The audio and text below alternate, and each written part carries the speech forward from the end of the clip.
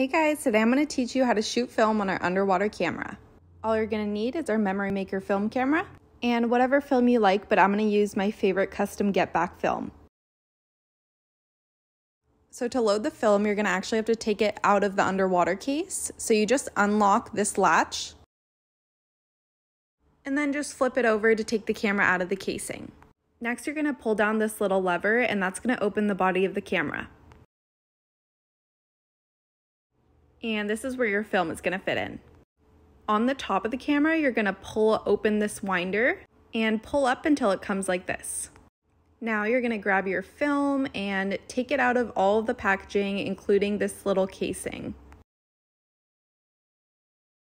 Then you're going to turn your film upside down and fit it into this place where the film goes. It should look like this if it's fit correctly. There's these little teeth that your film has to catch on in order to take the next picture. So you wanna make sure that the teeth catch the film. And you can see what I'm doing right here. I'm just pushing it in and winding it forward. Once your film looks like this, just close the body of the camera and make sure to push this down. Now to advance to the next picture, you're gonna wanna wind this until it stops. And once it stops, you're ready to take the picture. And each time you press the button to take the picture, you have to wind it forward again in order to take the next. If you want to use your camera underwater, you have to put it in the casing. So just close it up and latch it. So to take the picture in the underwater case, it's pretty much the same. Turn this knob clockwise to advance to the next picture. And this is the shutter button. And now you're all ready to go make some memories.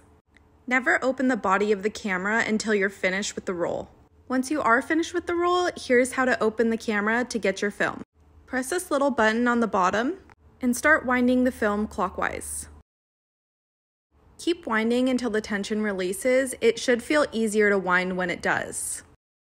Open the body of the camera from this little lever. Pull the latch up and then you're ready to go ahead and take out your film. This is what it should look like. There should not be any film exposed to the light. Put it back in the casing and go ahead and put the cap on. And now you're ready to take it in to be developed.